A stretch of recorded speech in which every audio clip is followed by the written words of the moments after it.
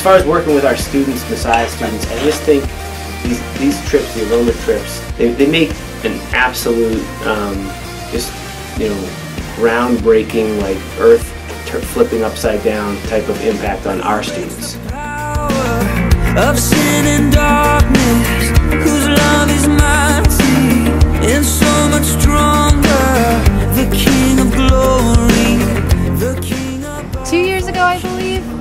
There was a team that went over with a bunch of sticks, and my coach went over and they taught basics of field hockey.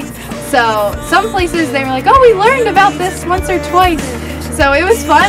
For some people, they never saw a stick before. So showing them just how to dribble and the joy they had, it was like, yes, this is why I love the game. This is amazing grace.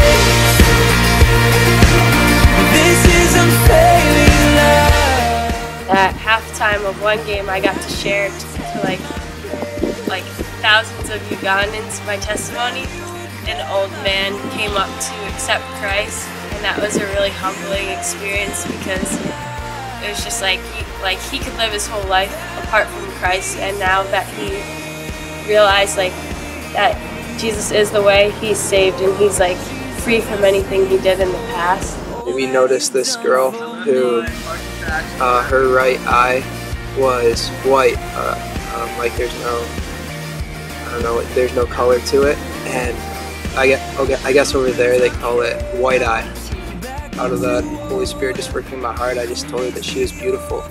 And her eye kind of rolled into place and all of a sudden she had like two eyes, like she could see things and I, I, we were just in awe, like sat there like kind of crying, kind of worshiping, just like in awe of, of what God was doing and how he was using us. It was amazing the king above all kings. Yeah, this is amazing As a wrestling coach in Uganda, Uganda's not a real big wrestling country. Um, so we were stretched. Um, the, the, two wrestlers and me as a coach, we were stretched.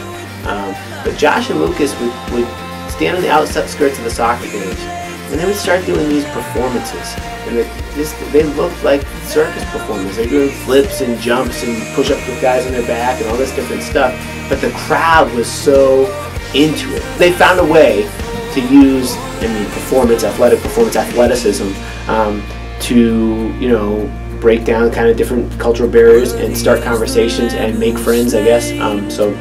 Um, we found a good way to use our talents, I guess, even though we weren't using wrestling specifically. Worthy is the Lamb who was slain